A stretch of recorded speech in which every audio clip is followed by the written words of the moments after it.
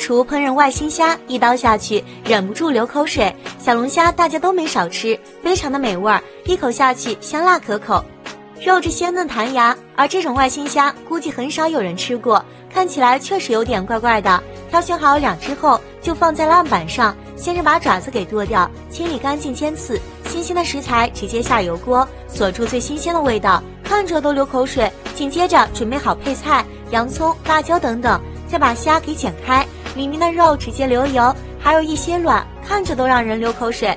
大蒜爆香后，放入辣椒和洋葱，大火爆炒，丢入虾肉，这样切开后更入味儿。虽然看起来有点黑不溜秋的，但其实非常美味儿，空气中都弥漫着鲜香味儿。剥开一看，这肉实在是太 Q 弹了吧，内部像是有夹心似的，进入口腔后裹着浓郁的香味儿。唾液不断涌出，让人回味无穷。据说这是一种名为虾菇的动物，有着丰富的营养，一份卖到一百三十元。你有吃过吗？好看。